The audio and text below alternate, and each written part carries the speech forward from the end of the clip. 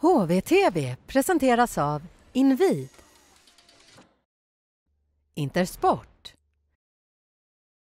Nybergs bil och Jönköpings Energi.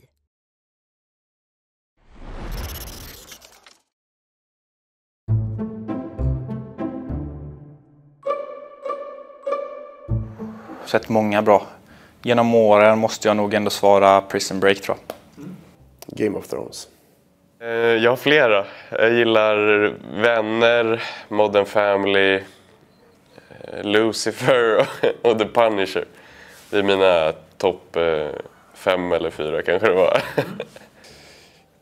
Just nu så kollar jag på Älska mig på Viaplay. Jag tycker den är bra. Oj. Jag, tyckte, jag tyckte Entourage var bra. Band of Brothers. Eh, The Wire var bra. Ja, det får bli... eh, mm, Game of Thrones var bra i sju säsonger. Ja, det, någon av dem. jag inte. Du gillar att kolla på tv-serier? Nej, egentligen inte. Jag säger hellre filmer. Men det är några, när de är bra där har de varit riktigt bra tycker jag. Ja. Ja, Prison Break tycker jag väl är en av de bästa. I alla fall första säsongen av dem. Sen så spårar väl ur lite, som de flesta serier brukar göra när det läggs till säsonger. Men eh, ja, första två säsongerna tycker jag är det bästa jag har sett. Eh, How I Met Your Mother ska jag säga. Svenska tv-serier är jag ett stort fan av.